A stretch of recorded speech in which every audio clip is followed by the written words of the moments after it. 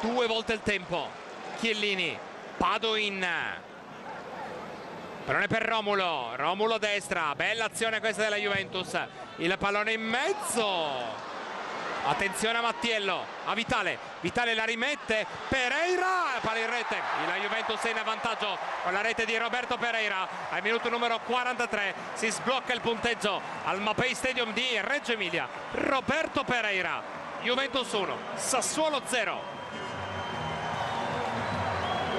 gli applausi del pubblico di Fede Bianconera per Roberto Pereira. Un colpo da biliardo all'angolino. Nulla da fare per Ciro Polito. Adesso andremo a rivedere campionato in vantaggio la Juventus. Tutto nato prima dalla destra. Pallone in mezzo Vitale.